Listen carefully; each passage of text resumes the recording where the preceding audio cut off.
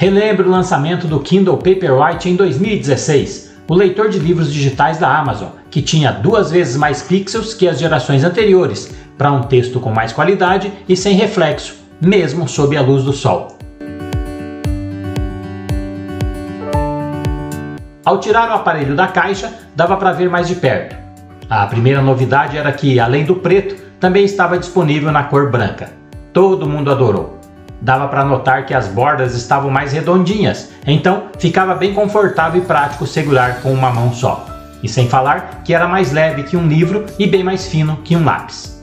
Ele era totalmente touch, ou seja, nada de botões físicos. Só o botão liga e desliga, aqui na parte de baixo e do lado a entrada USB. Mas era com o Kindle ligado que dava para perceber por que ele fazia tanto sucesso. A sensação era de estar lendo em um papel de verdade. O legal é que a luz era direcionada para a tela e não em direção ao rosto, e isso não deixava os olhos cansados, como acontecia com as telas de LED. Também dava para ajustar o brilho de acordo com o ambiente. Seja para ler no parque, com a luz do sol forte, ou no quarto à noite, os textos ficavam sempre bem nítidos. Sem falar da nova fonte, que foi redesenhada para garantir uma leitura ainda mais confortável. Eram muitos recursos bem interessantes. Dava para fazer anotações rápidas, destacar uma parte do texto, marcar onde parou e até saber o tempo que faltava para terminar a leitura. A novidade era que você podia folhear o livro sem perder a página que estava lendo.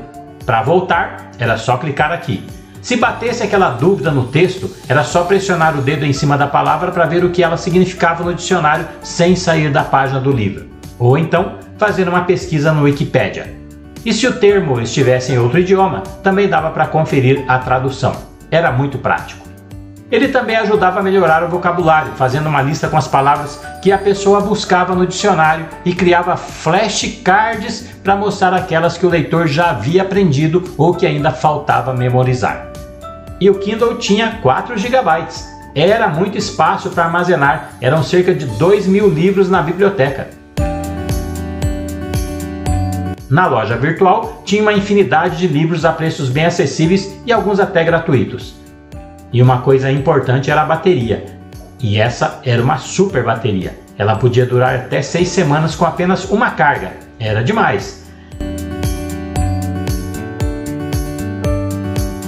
na caixa vinha os manuais e o cabo micro USB, que era para carregar o aparelho pelo computador ou notebook. E para relembrar, olha só os pontos fortes do Kindle Paperwhite: design mais fino e leve, 4 GB de memória e super bateria.